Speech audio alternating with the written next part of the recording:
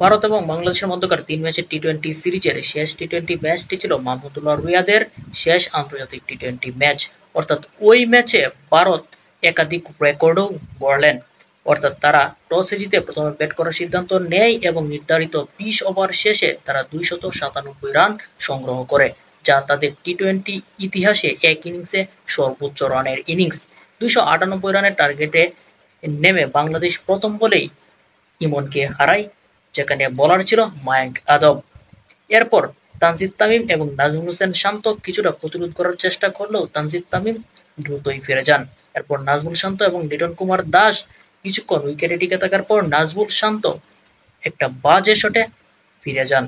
তারপর তাওহিদ হৃদয়ের সাথে আর কেউই ওই রকম ভাবে জুটি বাঁধতে পারেনি। শেষ পর্যন্ত তাওহিদ হৃদয় বাষট্টি রানে অপরাজিত ছিল।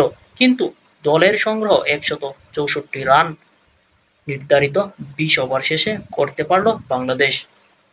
অর্থাৎ এই সিরিজে বাংলাদেশ বলার মতো তেমন কোনো পারফরমেন্স করে নাই। অর্থাৎ ব্যাটিং বোলিং ফিল্ডিং সব ইউনিটেই তারা খুব বাজে একটা সিরিজ খেললো।